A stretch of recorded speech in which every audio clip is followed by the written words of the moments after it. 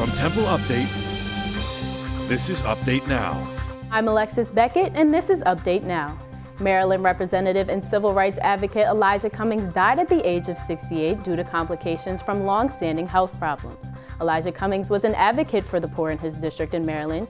He was also a chairman of one of the U.S. House committees leading impeachment inquiry of President Donald Trump.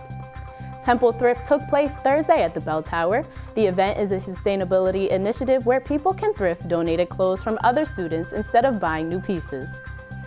It's a sustainability program in that it looks at kind of what we call the triple bottom line, um, which is not only the planet, which is uh, the diversion of the waste from the landfill, but we're also looking at um, the circular economy. All proceeds go to the Cherry Pantry, contributing to the fight to end student hunger. Temple's Office of Sustainability is sponsoring Campus Sustainability Week with this year's theme being Act on Climate, the Road to 2050. There will be a tiny open house at Temple Community Garden Friday 3 p.m. to teach about regenerative design. And in weather, Friday and Saturday will be mostly sunny with highs in the 60s and lows in the 40s. Sunday will be partly sunny with a high near 66 and a low 54.